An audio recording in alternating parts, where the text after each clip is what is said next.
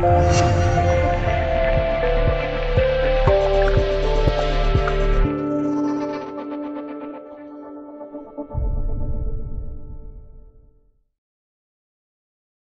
冠希，二零零八年艳照门爆发，数十位圈内女星陷入人生的低谷，有的至今仍没有走出阴影。如今事件过去八年，陈冠希仍不被主流媒体待见。柯震东，柯震东因出演电影《那些年》一夜走红，之后《小时代》系列票房大卖，成为娱乐圈的当红炸子鸡。一时之间人气无人能敌，然而二零一四年他却作死吸毒，被迫暂退娱乐圈。如今虽然已经复出，但再难恢复昔日的辉煌。文章二零一四年，文章背着孕期马伊琍劈腿姚笛被曝光，好男人形象荡然无存，电影被抵制，录制的综艺节目镜头被剪。历经两年，他演了电视剧，也执导了新电影。虽然跟马伊琍和好。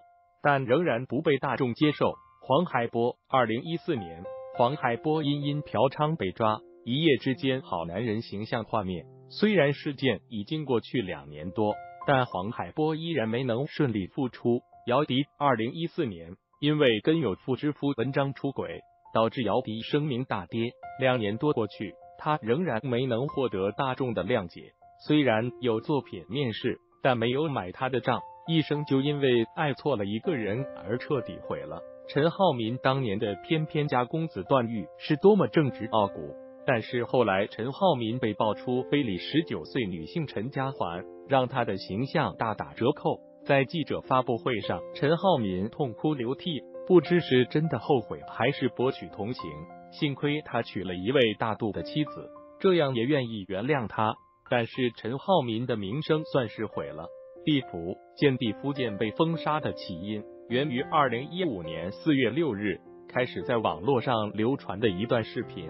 一席好友 A 坐在饭桌前，毕福剑唱起了经典样板戏《智取威虎山》选段，每唱一句都要加一句戏谑性的评论，其中还涉及到对已故领袖的大不敬。如果视频的主角是普通人，这事根本算不上新闻。在私人场合开一些政治玩笑。听者通常是一笑置之，无人当真。可作为国家级电视台的著名主持人，台前幕后的一举一动、一言一行，都关系到中国头号媒体的形象。即使是玩笑，也演变成了重大事。